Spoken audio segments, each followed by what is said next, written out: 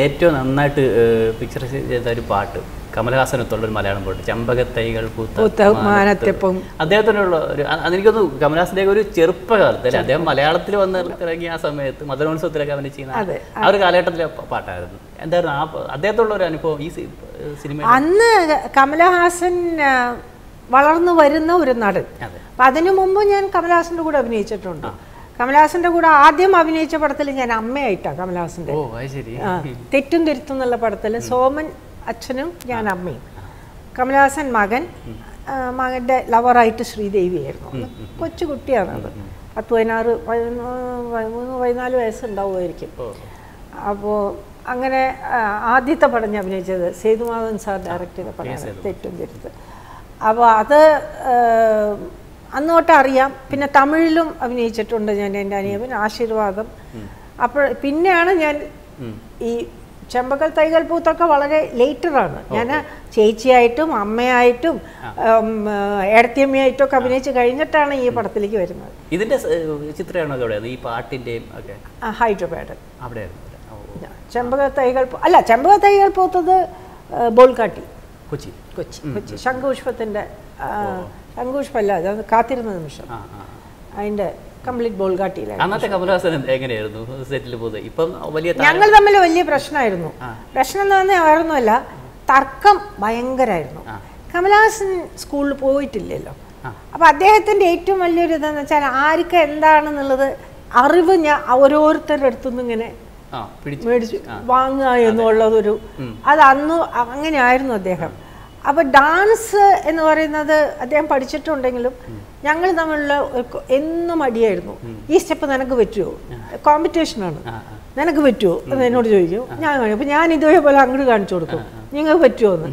അങ്ങനെ എന്നും ഞങ്ങൾ തമ്മിൽ ഈ ഡാൻസിന്റെ പേരിൽ ഭയങ്കര ഒരു കോമ്പറ്റീഷനും ഒക്കെ ആയിരുന്നു. കുഴപ്പമില്ലായിരുന്നു. ഞങ്ങൾ അങ്ങനെ അടുത്ത് പെരുമാറേണ്ട ആവശ്യമൊന്നും വന്നില്ല ഷൂട്ടിംഗ് സമയത്ത് കാണുക എന്നല്ലാതെ. പക്ഷെ അദ്ദേഹത്തിന്റെ മഹത്വം പറയണമെന്നുണ്ടെങ്കിൽ ഇന്നാൾ മാതൃഭൂമിയിൽ ഈ പാട്ടിനെ കുറിച്ച് ഒരു ലേഖനം വന്നു.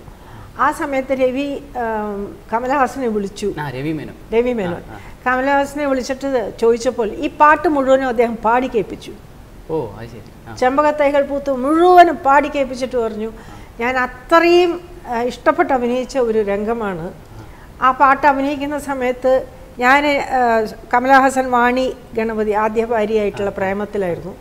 ഞാൻ എന്റെ ഫ്യൂച്ചർ ഹസ്ബൻഡായിട്ടുള്ള പ്രേമത്തിലുമായിരുന്നു. അപ്പം ഞങ്ങൾ രണ്ടുപേരും പ്രേമ പ്രേമം നന്നായിട്ട് മുഖത്ത് കമലഹാസൻ അദ്ദേഹത്തിനോട് പറഞ്ഞു ഞങ്ങളുടെ രണ്ടുപേരും മുഖത്ത് ഭയങ്കര പ്രേമമായിരുന്നു. കാരണം ഞങ്ങൾക്ക് ഇതായിരുന്നു ഞങ്ങളുടെ അടുത്തടുത്തിന്റെ എന്ന് കല്യാണം. അപ്പോൾ അദ്ദേഹം ഹിസ് മെമ്മറി അത് നമുക്ക് പറയാതിരിക്കാൻ പറ്റില്ല. ഏറ്റവും വലിയ ക്വാളിറ്റി എന്തായിരുന്നു? കമലഹാസന്റെ. കമലഹാസന്റെ ഡെഡിക്കേഷൻ. അൺബിലീവബിൾ എനിക്ക് തോന്നുന്നില്ല. ഞാൻ കണ്ടെടുത്തോളമുള്ള ആൾക്കാരിൽ ഇത്രയും ഡെഡിക്കേറ്റഡ് ആയിട്ടുള്ള ഒരാൾ സിനിമയെ ഇത്രയധികം സ്നേഹിക്കുകയും അതിനോടുള്ള ഒരു അഭിനിവേശവും ആ ഒരു ഡെഡിക്കേഷനും ചത്ത് പഠിക്കും എന്താന്നുള്ളത്? അത് അത്രയും കോൺസെൻട്രേഷനും അൺബിലീവബിൾ പിന്നീട് വർഷങ്ങൾക്ക് ശേഷം ഇപ്പോൾ ഈ അടുത്തിടെ എങ്ങനെ പിന്നീട് കണ്ടിട്ടില്ല. ഒരിക്കൽ വിളിക്കേണ്ടി വന്നു എനിക്ക്.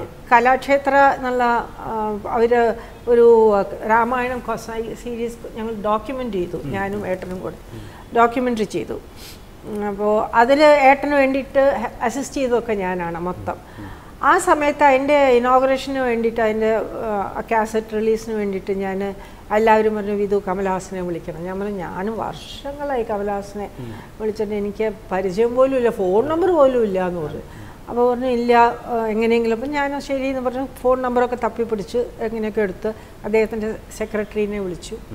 വിളിച്ചിട്ട് ഞാൻ പറഞ്ഞു എന്റെ പേര് വിധുബാല എന്നാണ്. ഞാൻ പണ്ട് കമലഹാസന്റെ കൂടെ അഭിനയിച്ചിട്ടും അറിയാം മാഡം എന്നൊക്കെ പറഞ്ഞു അദ്ദേഹം. ഞാൻ പറഞ്ഞു ഇങ്ങനെ എനിക്കൊന്ന് സംസാരിക്കണം എന്ന് പറഞ്ഞു.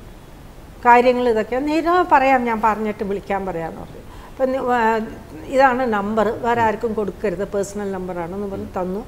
ആ നമ്പർ വിളിച്ച് ഫോൺ എടുക്കില്ല. പക്ഷെ തിരിച്ചു വിളിക്കും എന്ന് പറഞ്ഞു. ആയിക്കോട്ടെ എന്ന് പറഞ്ഞു. ഞാൻ വിളിച്ചു തിരിച്ചു വിളിച്ചു. എത്രയോ കാലം ഡെയിലി കാണുന്ന ഒരു മനുഷ്യരെ പോലെ എന്നോട് സംസാരിച്ചു. അത് എന്താ ഇത് സുഖം തന്നെയാണോ? അത് മലയാളത്തിൽ അപ്പോൾ എന്റെ ഹസ്ബൻഡിനെ ഫറൂഖ് ഷെയ്ഖ് എന്നാണ് വിളിക്കുക. അങ്ങനെ ഫറൂഖിലായിരുന്നു എന്റെ ഹസ്ബൻഡിന്റെ വീട്. അപ്പോൾ ഫറൂഖ് ഷെയ്ഖ് എന്നാണ് എന്റെ ഹസ്ബൻഡിനെ അന്ന് അഭിനയിക്കുന്ന കാലത്തൊക്കെ വിളിച്ചിരുന്നത്. ഫറൂഖ് ഷെയ്ഖിനെ എങ്ങനെ ഇരിക്കുന്നു? സുഖമായിരിക്കണോ എന്നൊക്കെ ചോദിച്ചാൽ എല്ലാം. അതൊക്കെ ഓർമ്മയുണ്ട് പുള്ളിക്ക് മൊത്തം. നമ്മളെ ചമ്പകത്താവികൾ മുഴുവനും പാടിയെന്ന് കേട്ടാൽ ഒന്ന് അറിയിച്ചു നോക്കും അപ്പം ഞാൻ പറഞ്ഞു ഇങ്ങനെ ഒരു ഫംഗ്ഷന് വേണ്ടി വിളിച്ചതാണ് ഇങ്ങനെ ഒരു കാര്യം ഉണ്ടാവും അപ്പോൾ അയ്യോ വിധു വിശ്വരൂപത്തിന്റെ ഷൂട്ടിങ്ങിനും ഇതൊക്കെ ആയിട്ട് ഞാൻ തിരക്കിലാണ്. പറ്റുമെന്നാണ് ഞാൻ പറഞ്ഞു എന്നോട് എക്സ്ക്യൂസുകളൊന്നും പറയേണ്ട കാര്യമില്ല. കാരണം ഞാനിതുമായിട്ട് ഒരു ഇതും ഇല്ല. അപ്പോൾ ഇനോഗ്രേഷന് പറ്റുമോ പറ്റില്ല. അവർ ഒഫീഷ്യൽ ലെറ്റർ അയക്കും. വോട്ടോ യു റിപ്ലൈ അങ്ങോട്ട് റിപ്ലൈ ചെയ്താൽ മതി. ഒന്ന് പറഞ്ഞു എന്ന് മാത്രമേ ഉള്ളൂ. നോ ഒബ്ലിഗേഷൻസ് എന്ന് പറഞ്ഞാൽ. പിന്നെ പിന്നെ പഴയ കാര്യങ്ങൾ പലതും ചോദിച്ചു. കുട്ടി എങ്ങനെ ഇരിക്കുന്നു? മക്കൾ എങ്ങനെ ഇരിക്കുന്നു? എല്ലാവരും ചോദിച്ചിട്ട് വെച്ചു. അത്രയല്ലേ